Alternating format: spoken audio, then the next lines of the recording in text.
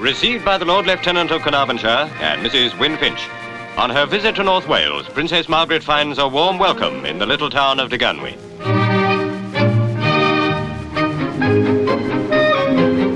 There's snow on the distant mountains as the princess sets out for a visit to Conway Castle.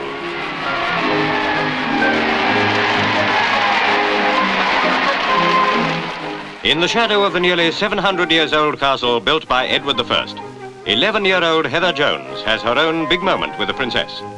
Later, there were 12 other Joneses amongst those presented to Her Royal Highness by the Mayor and Constable of the Castle, Alderman Bennett Hughes.